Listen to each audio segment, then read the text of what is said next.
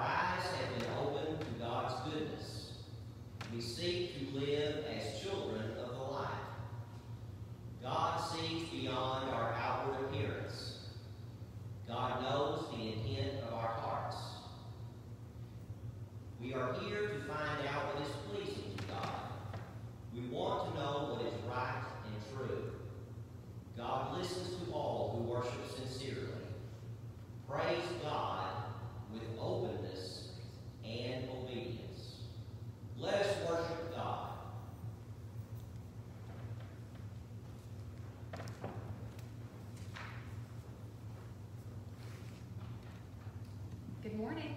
Good morning. As we begin, we will start with a reading from Psalm 23, a very memorable Psalm of David. The Lord is my shepherd, I shall not want. He makes me lie down in green pastures. He leads me beside quiet waters. He restores my soul. He guides me in the paths of righteousness for his name's sake. Even though I walk through the valley of the shadow of death, I fear no evil, for thou art with me Thy rod and thy staff, they comfort me. Thou dost prepare a table before me in the presence of my enemies. Thou hast anointed my head with oil. My cup overflows. Surely goodness and loving kindness will follow me all the days of my life, and I will dwell in the house of the Lord forever.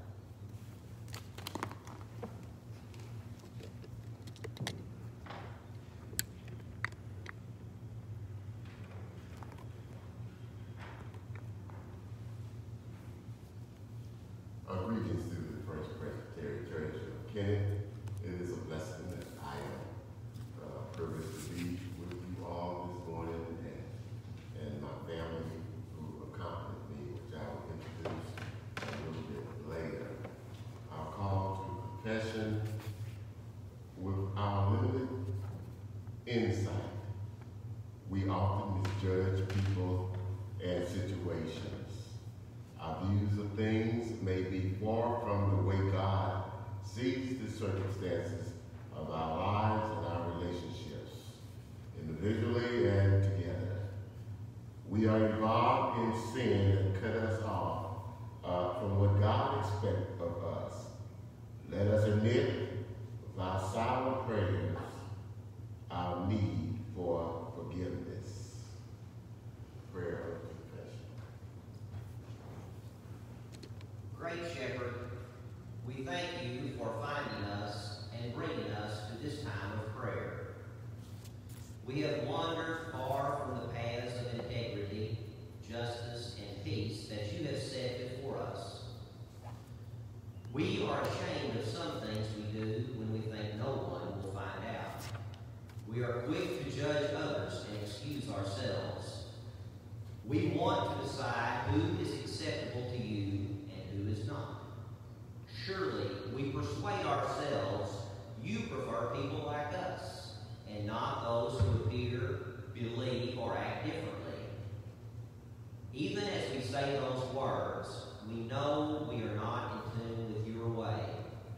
Forgive us, we pray, and help us to change. Amen. assurance of forgiveness, the goodness and mercy of God are always available to us. We can receive these gifts when we are truly sorry for our sins and open to the richness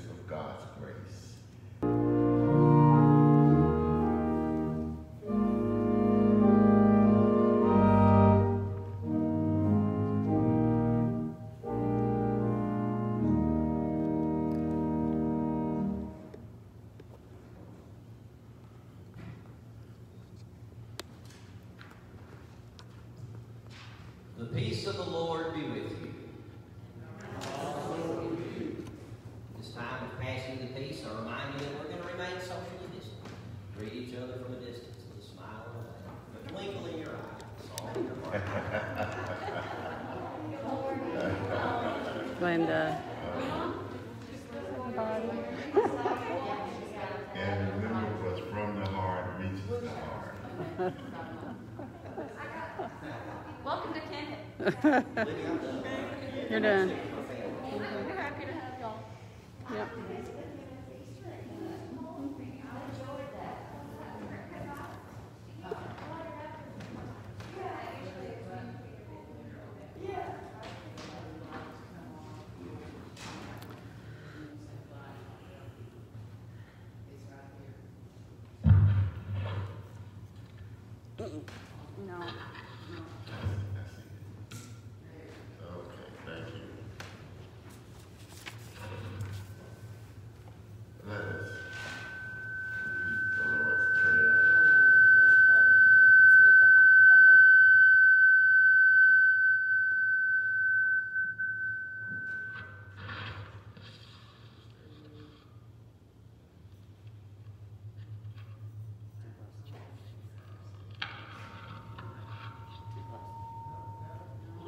Move it from Travis Baker.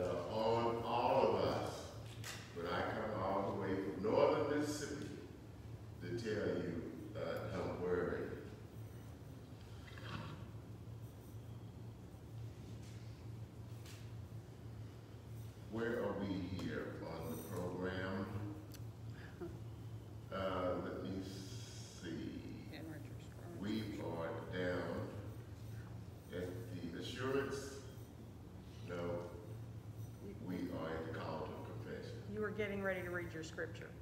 I was getting ready to read my scripture. Thank you very much. Uh, and see, I know you guys not going to let me uh, go. This is my first time.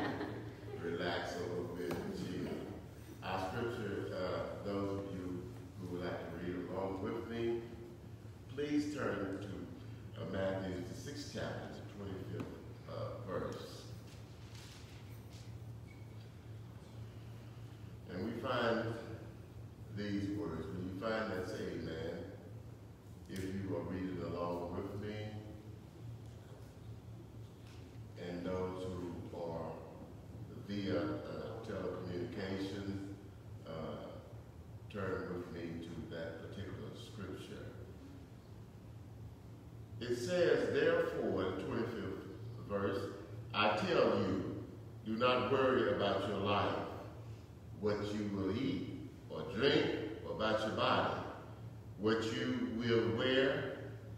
Is not life more important than food? And the body more important than clothes? Look at the birds of the air, that they do not sow or reap, are stored away in the barns. And yet, the Heavenly Father feeds them. Are you First Presbyterian Church more valuable than they? Who of you by worrying uh, can add a single hour to his life? And why do you worry about clothes? See how the lilies of the field grow? They do not labor or spin, yet I tell you that not even Solomon in, his, in all his splendor was dressed like one of these, if that is how God clothes the grass of the fields, which is here today and thrown in the fire, will he not much more clothe you? O oh, you of little faith, Jesus Christ repeatedly told us, so do not worry, saying, what shall we eat, or what shall we drink, or what shall we wear? For the pagans run around these things, uh, and your heavenly Father knows that you have need of them. But it goes on in the 33rd verse to tell us, uh, but seek the kingdom of, but first seek the kingdom and his righteousness and all these things will be given to you as well. Therefore, do not worry about tomorrow, uh, for tomorrow will take care of itself. Each day has enough problems of its own. May God bless uh, the reading of His Word, and I hope that Scripture uh, is already speaking to you uh, today. Again, it is a blessing let us.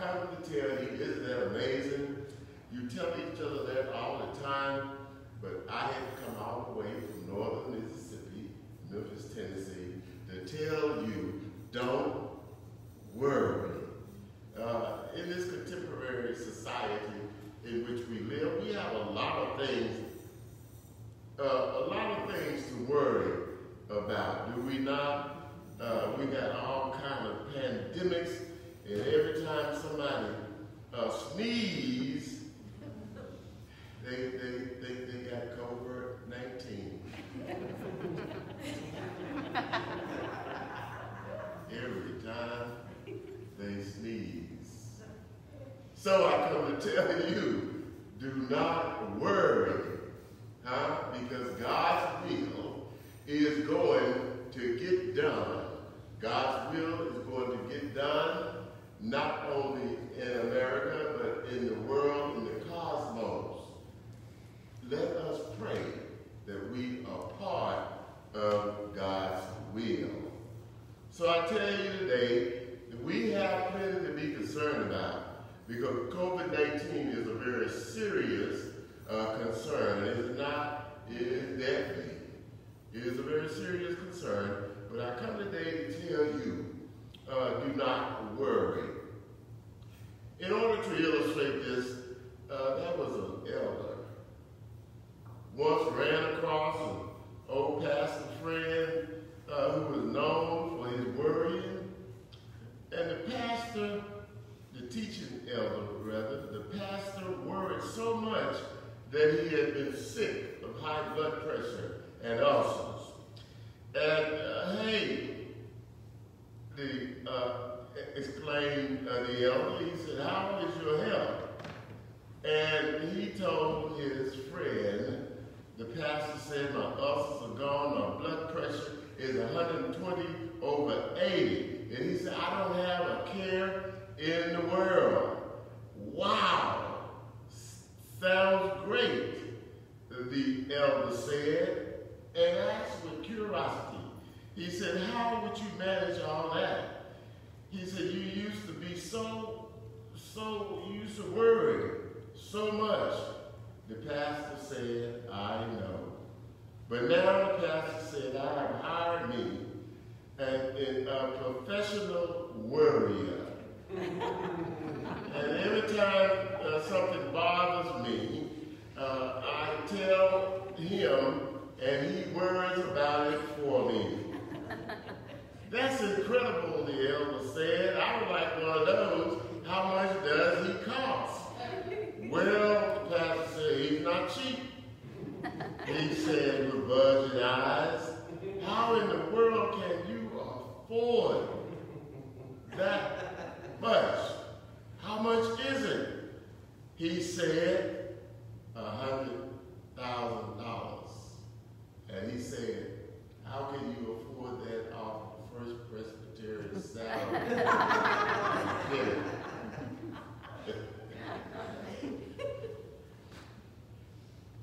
but he said, I don't have to worry anymore.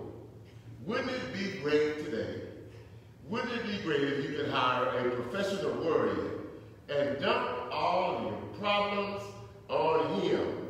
I mean, let's face it, church. We all worry. Uh, we worry about our health. We worry about our families, do we not? We worry about our job. We worry about the future and what the future holds. Even the Christians uh, who know who holds the future and who cares for us, uh, we are too dependent to rely upon God and trust in God, and we continue to worry. But I thank God he does not abandon us in our worrying. He still keeps his loving arms of protection around us. He still guide and direct our lives through the Holy Spirit. Does he not? Uh, doesn't he care for you? Doesn't he direct your life? Uh, has he not provided for you?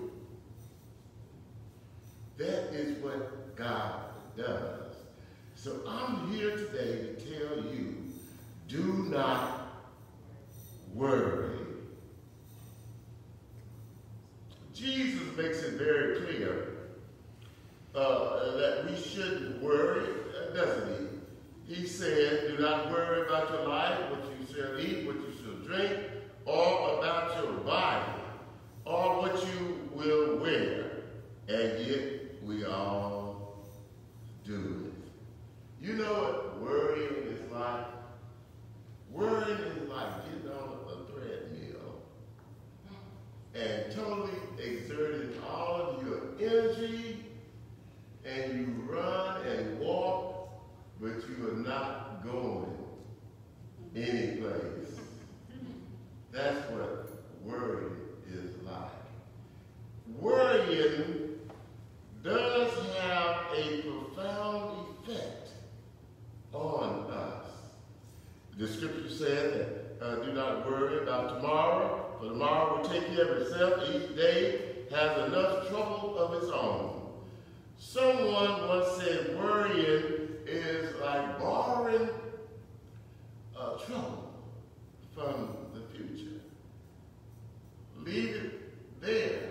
We have enough today uh, to be concerned about, and tomorrow will take care of itself. Uh, but you know what? Uh, the Bible tells us that worrying will not add a single hour to our lives. But I tell you what it will do. It will take away an hour, a day, a week, a month, several years from your life. If you worry, that is why we are to cast all our cares on Jesus Christ. Trust in him and obey him. The scripture went on to say uh, that Jesus pointed out about worrying and really failing to trust God. He said, if he cares for the birds and the lilies, why don't you trust that he will take care of you? I tell you why. If that is how God clothes the grass of the fields, which is here today and tomorrow is thrown into the fire, will he not much more clothe you? And Jesus repeatedly said, you are of little faith. That's why I tell you today, do not worry. We learn through repetition. And I want you to repeat that after me. Do not worry. Do not worry. Because it can destroy and it can uh, uh, uh, not only destroy, but it can be deadly in our lives. And we want to live the healthy and prosperous life uh, that God has uh, given unto us. Amen? Amen. Amen. That was in, in the 1800s. There was a tightrope walker by the name of Blondin. He would walk across Niagara Falls many times. He did black backflips. He rode on a bike. He even crossed on stilts. There was no doubt in his mind that he could not make it across Niagara Falls without any problems. And there is no doubt in his onlookers, his, his audience, his fans, that he could not do that. Because every time he would say, can I do it, they would cheer. Yes, yes, Mr. Blondin, you can do it. And one day uh, he said, do you think that I can make it across uh, with someone carrying someone on my back? And he said, they said again, yes. yes, Mr. Blondin. We know that you can carry someone uh, on your back across Niagara Falls. Then he spoke up and said, is there any volunteers? no one, no one, no one said a word.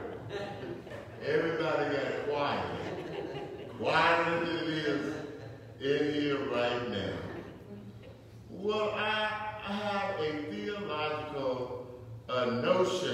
that I would like to present to you, First Presbyterian Church. Do we really trust God? If you do, say, I will not worry. Or I will not worry.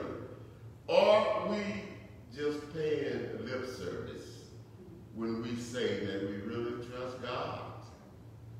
When it comes down to it, do we put all our trust in God? Proverbs 3 and 5 says, trust in God with all thine heart. Lean not unto your own understanding. In all of your ways, acknowledge him, and God will direct your path. Now, again, we are in these unprecedented times, and, and, and things are going to be difficult for a while. God wants us to be patient, for he said in Isaiah uh, uh, 40, 31, he said, He who wait on the Lord shall renew their strength. Mount wings as eagles. Run and not get weary. Walk and not faint. Do you trust him today, church? How do you have your hand in God's hand? Are you leaning and dependent on our Lord and Savior, uh, Jesus Christ? If you really trust him, remember to worry is actually a sin. Because that displays your lack of trust in God. Someone once said, if you pray, don't worry. But if you worry, you might as well not even pray. Because if you trust in God, you do not have to worry.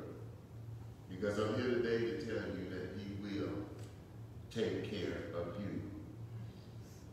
Where you and I fail to put our trust in God is, uh, we have an example that Jesus trusted him perfectly. Remember when he was tempted in the wilderness, Satan tempted him uh, to turn these stones into bread after 40 days and 40 nights of no food. But he could not fool Jesus Christ. He could not tempt our Lord and Savior. You know what Jesus told him? Uh, Satan, it is written, man shall not live by bread alone, but by every word that proceeded out of the mouth of God. And so, now you are no longer counted as the unbelievers because God have accepted you as his little child. God loves you as his as he sent his only begotten son to die for you and I. You are free. You are free just like the bird it talks about here in our scripture. Jesus said, look at the little birds flying uh, in the air. They do not sow, they don't reap, they don't store things in the barn, uh, but yet the Heavenly Father feeds them. Are you not much more valuable than they are?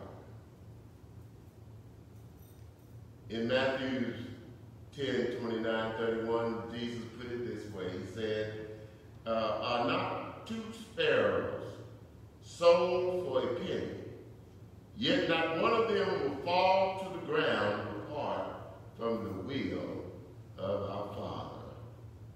And then Jesus went on to say, every hair on your head is numbered. That is why you do not have to worry. Because God has given you a designated space and time in this earth. Enjoy it. Embrace it. Love it. Bless somebody else while you are trotting this land. Now, we all know when I started out, and I, I guess Brother Will, I'm getting close to that time, we, you know, we talked about the man, we talked the man, about the man uh, who, who hired a professional warrior. Well, we know that you can't hire a professional warrior. I want to clear that up. But you know what?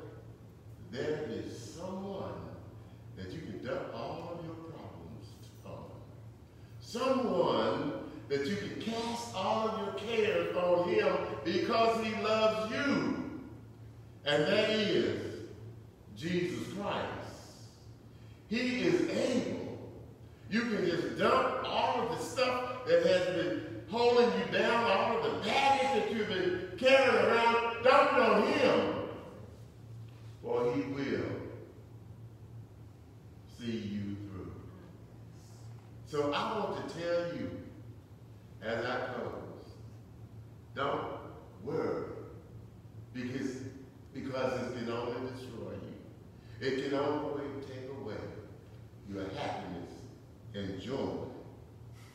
Don't worry about your family.